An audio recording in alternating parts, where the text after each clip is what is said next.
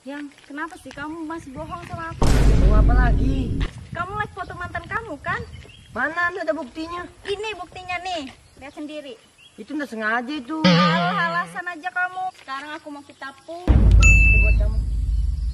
pulang. Maksud aku lagi kita pulang. Besok kita jalan lagi.